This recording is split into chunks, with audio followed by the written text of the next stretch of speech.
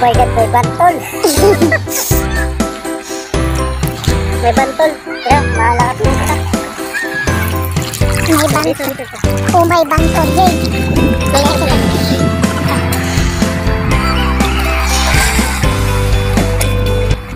So, may starfish, guys. So, ano? Starfish. Hindi makita. Hindi makita. Kukunin mo. Ano to? Nangangat ko to? Hindi. Baka hindi to starfish ah. Starfish yan.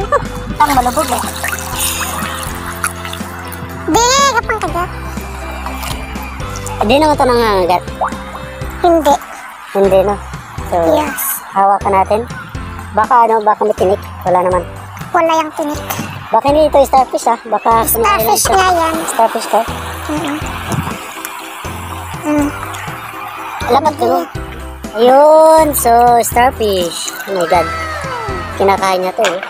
So, ang pagkain ng starfish, buhangin na buhangin. Right? So, ang pagkain niya po, buhangin.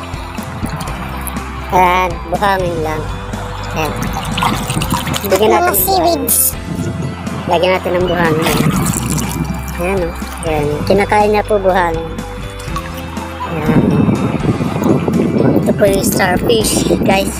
Ayan po siya. Pinapakain ko po ng buhangin. Kasi buhangin po yung pagkain niya.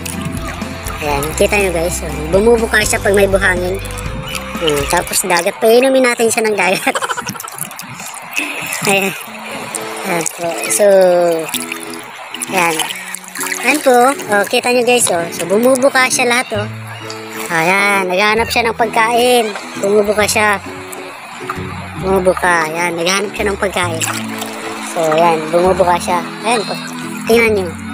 Ah, ayan, ganun po yung starfish. Ayan, ayan pakainin natin siya ng pagkain. Okay. Pakainin natin siya ng pagkain niya. Ayan, so pagkain niya ay buhangin. Tatay siya. Tayo na. Pag tumayo yung starfish, buhangin din. Panoorin.